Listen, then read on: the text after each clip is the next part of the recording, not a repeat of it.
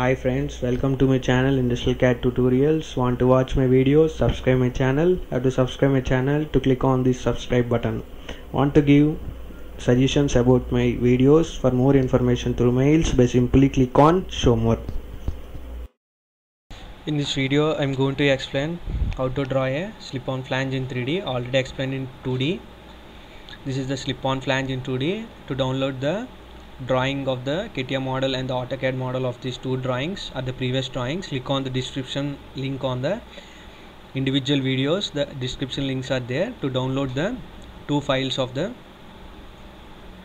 two drawings the CATIA model and the 2D model. Already explained the blind flange. This is the slip-on flange. This is different. This is have internal diameter and the hub on the drawing. This does not have the internal diameter and the hub. I want to show the internal diameter of the hub and it has only four holes I created. This is the 25 mm flange. Previous one is this is 100 mm flange by using CATIA go down mechanical and part design. And the dialog box will appear new part. Enter the part name. Give the part name. I'm giving the part name. This is the slip-on flange. I'm giving slip-on flange. What part you like give as your own as your wish enable hybrid design and create geometrical set. Both are click on ok will on and go to the xy plane this is the 2d sketcher workbench and the next one is 3d sketcher workbench. Two workbenches on the part design. Already explained in previous tutorials. I'm daily explaining all the tutorials. These are two workbenches of part design first draw a circle or the outer diameter of the flange. The outer diameter of the flange is 228.6 mm by using constraint. Check the dimension or edit the dimension. It is showing 184 i am giving 28.6 mm and click on ok. And 28.6 mm circle is created. Then go on to the exit workbench. The sketch will go on to the 3D workbench the thickness is 23.8 mm.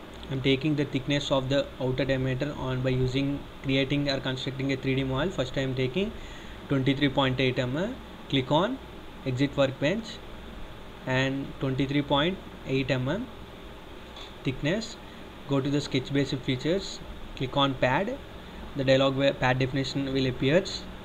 Then type the thickness 23.8 mm 23.8 all dimensions number and click on ok the 23.8 mm of solid is created solid model is created. Next we want to create the all of the types by using circle. Go on to the sketch plan by using circle. Draw a circle. This is the PCD circle. The PCD circle diameter is 190.5 mm. The hole die is 19 mm. How many holes are required? The number of holes is 8 holes are required. Simply draw a circle on the selecting the any of the face of the solid model and draw a 190.5 mm diameter. First draw a already done. The diameter is 190.5 mm. Edit the dimension and draw a circle the circle diameter is 19 mm the die of the hole is 19 mm give the 19 mm diameter to the circle and click on ok. I want to go on to the exit workbench. I want 8 holes. Go on to the sketch based features the pocket tool is there. Click on pocket and select the circle and the dialog will appear. The depth is 23.8 after creating the one of the hole by using pocket and go on to the transformation features. I want 8 holes by using transformation features on the 3D model in CATIA the 8 holes are created. In previous I will show only 4 holes. This is the 8 holes flange.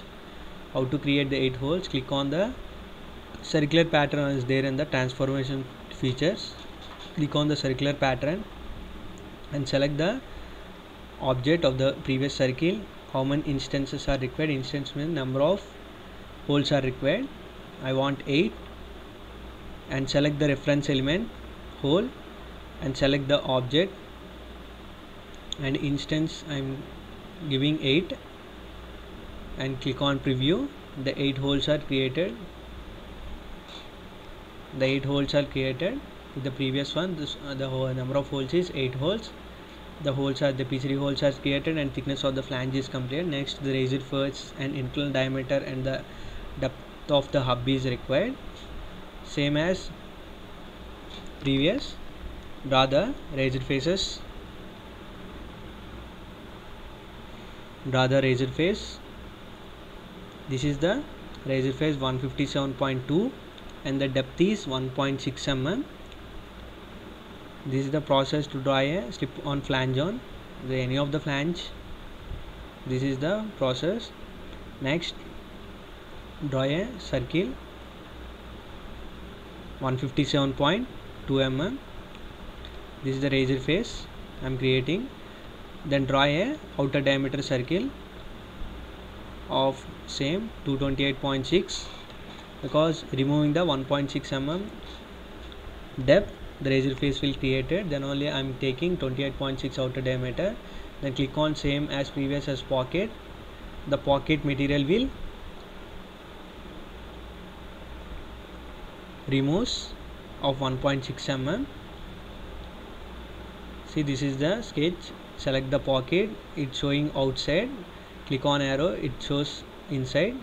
Click 1.6 mm depth and click on preview and click on ok. The 1.6 of RF is created. See, is the without the thickness is not disturbed. The total thickness is 23.8 mm with with raised face. Next draw a hub.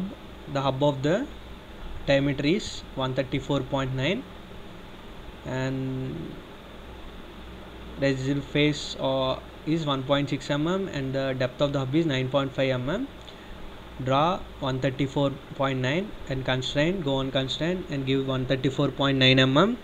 Click on ok. The 134.9 mm circle is created. And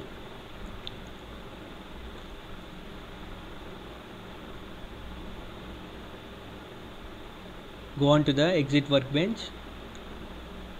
Simply pad click on the sketch based feature the pad is there click on pad the pad definition toolbar will appear then uh, length of the it means depth height of the depth is 9.5 mm i'm giving height 9.5 mm this is the slip on flange of hub height 9.5 mm of the 100 mm flange this is the 100 mm flange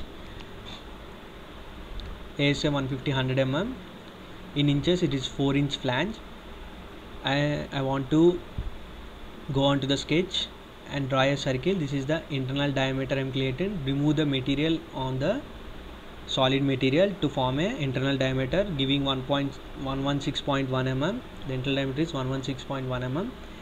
And uh, click on pocket. The pocket is created. The pocket depth is total is 33.33 plus 9.5 plus 23.8 the total height is 33.3 nearly the depth. The whole internal diameter is required of the flange to put any of the nozzle or any of the pipe to flow the material. These flanges are used in main of the pressure vessels not only vessel and heat exchangers like so many type of as per the requirement these flanges are used. The slip on so many types of flanges are there. Already explained in previous tutorials. This is the slip on flange tutorial you want to download the files click on the description link. The download links are available. The radius I am giving all the radius of the sharp edges to 1 mm. And click on the edge fillet dress up features. The edge fillet is there. Click on edge fillet. I'm giving 1 mm. The sharp edges is not there on the flange. To avoid the sharp edges to the flange I am using 1 mm radius by using dress up features on the edge fillet definition toolbar will appear give on all the and select all the object at once and give 1 mm. Then all it changes to 1 mm radius. I want to give the whole radius also whole edges also I am giving 1 mm to avoid the sharp edges by using edge fillet tool by using different shades on the view to change the different views or different shades to know how it look likes. It look very nice. Then select all and click on edge fillet and click on preview and give radius 1 mm. The flange is completed. The all the edges are with 1 mm radius. And click on multiple view. There's uh, so many multiple views are available on the software. And click on the view toolbar. The multiple view tool is there. Click on the multiple view. The multiple view is available on the view toolbar. Click on multiple view. This is the isometric view. And the first one is top view. This is the side left view and the right view or side view or the one of the right side view and the um, left side view. These are the views available in the the software. This is the simply drag one does not required on on the screen. I'm giving on the toolbars to the tool space. Look the flange is in different views the flange will look like this this is the detail expression of the slip-on flange in 3D by using CATIA. Thanks for watching my video. Do like, share, comment and subscribe. Do you want more videos? Please click on subscribe button.